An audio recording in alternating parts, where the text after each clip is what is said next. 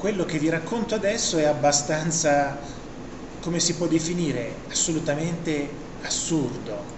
Il presidente della commissione antimafia, Nicola Morra, attacca Salvini perché è andato in Calabria con il rosario. E voi direte, quindi in Calabria non si può andare con il rosario? C'è qualcosa che lo impedisce?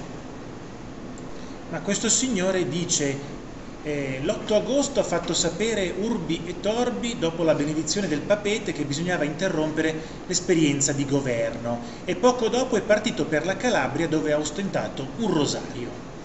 E poi dice, ostentare un rosario, votarsi alla Madonna, dove c'è il santuario in cui l'andrangheta ha deciso di votarsi, significa mandare messaggi in codice che uomini di Stato debbono combattere e non favorire ma sicuramente è stato per ignoranza e non per intenzione, dice Morra. Salvini risponde immediatamente, dice il senatore Morra ha detto che il rosario in Calabria è un omaggio all'andrangheta, io rifacendomi a Maria e al buon Dio, secondo Morra ho mandato un messaggio all'andrangheta, ma vi rendete conto, ora in Calabria non si può pregare la Madonna, alla faccia della libertà. Ma mi sembra assolutamente farneticante, cioè...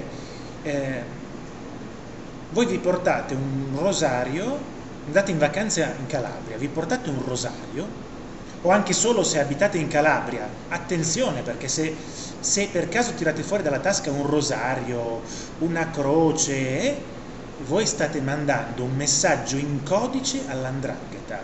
Capite che questo signore, ma come si può definire? Avrei tante parole ma non si possono dire in YouTube.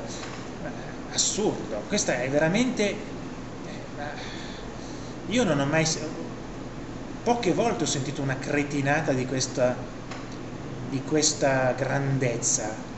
Questa è proprio, come dire, eh, devo parlare con un giornalista, vediamo quale cretinata posso dire oggi.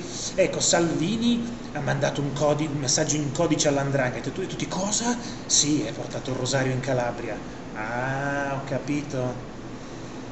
È veramente impressionante una cosa del genere.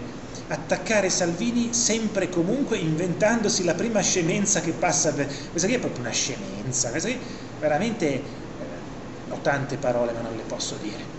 Grazie per avermi ascoltato e arrivederci.